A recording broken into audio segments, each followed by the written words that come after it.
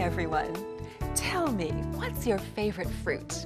I hope you have several because then it's easier to get the three or more servings a day recommended by Physicians Committee for Responsible Medicine. Now, how about your favorite vegetable?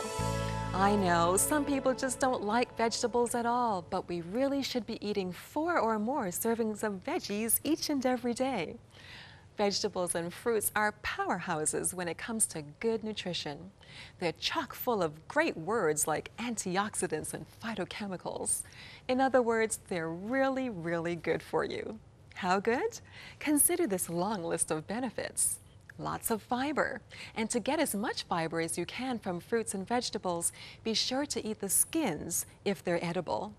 Also, most fruits and vegetables are low in fat and calories, with the exception of avocados and olives, so enjoy those too in moderation.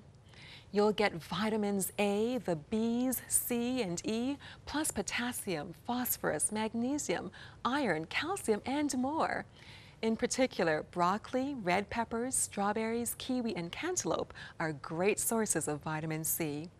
And you'll decrease your risk of heart disease, stroke, diabetes, and some types of cancer. Eating Well with Canada's Food Guide recommends that we eat at least one dark green vegetable like broccoli, romaine lettuce, and spinach, and one orange vegetable such as carrots, sweet potatoes, and winter squash each day.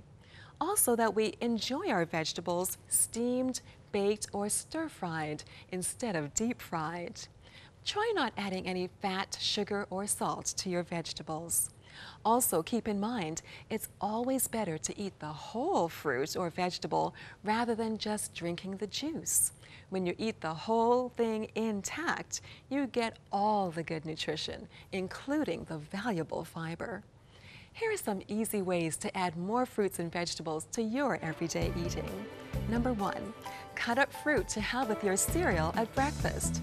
Also, keep a bowl of washed fruit on your counter so that when you're tempted to snack, you'll have something delicious and nutritious ready for the taking.